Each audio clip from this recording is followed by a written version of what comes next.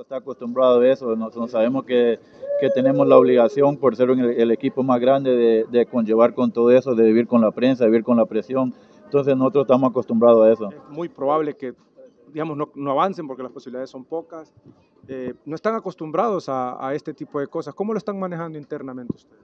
Bien, ¿no? sabíamos que como dijo tú, no, no, no estaba entre las posibilidades, no estaba entre, entre los planes, pero este es el fútbol, así es, ¿no? Eh, nosotros no pensamos que estamos eliminados todavía hasta, después del partido contra Chelajuno. Ya después del partido contra Chelajú, si no se nos dan las cosas, pues ahí, ahí responderé de, otra manera.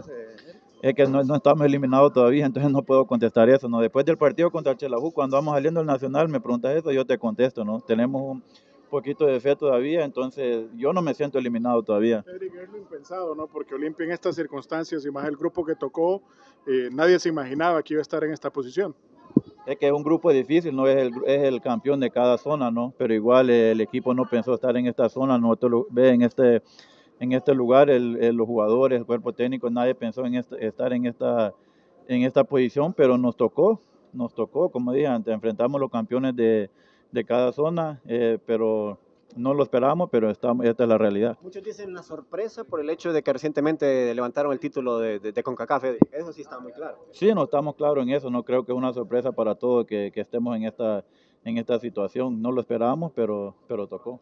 El argumento mayor, Edric, sería no solo los números que lo respaldan, porque hay posibilidad de clasificar, sino lo que significa Olimpia. ¿sería?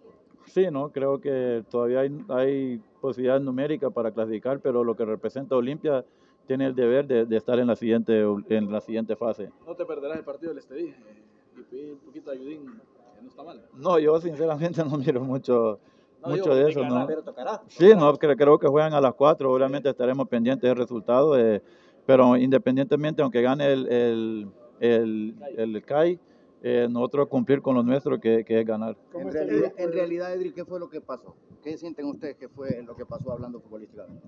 Perdimos. perdimos, es lo único que puedo decir. Perdimos, ¿no? Dije anteriormente, tuvimos un mal primer tiempo. El segundo tiempo el equipo lo buscó ante Estelí, no, no nos alcanzó. Y ese, ese, eso es lo que nos pasó, perdimos. ¿Qué le, a la afición? ¿Qué le dicen a la afición? Porque la afición también está exigiendo mucho y ha dicho, ¿cómo es posible, es posible que el más grande de Centroamérica no esté dando los resultados? Y más en la Copa Centroamericana, cuando ha sido torneos importantes para Olimpia en CONCACAF. Es que nosotros estamos acostumbrados a eso, estamos acostumbrados a la presión de la gente, sabemos que aquí quedas campeón, eh, estás celebrando y la gente te exige el otro, el otro campeonato, entonces nosotros la afición que, que, nos acompañe como siempre lo han hecho, ya si nos toca que eliminado, pues que nos critiquen, ¿no? que nos exijan, que, que, que, es lo que hace grande el Olimpia. ¿Cómo está el interior del grupo, Eric? Porque se ha visto a Troglio molesto, eh, de, de, hecho eh, su lenguaje corporal lo refleja ¿no? a los momentos de los partidos y, y me imagino que lo transmite a ustedes también en el camerino. Sí, pero nosotros estamos bien, estamos bien con el profe, estamos bien en lo interno, eh, no hemos perdido la alegría.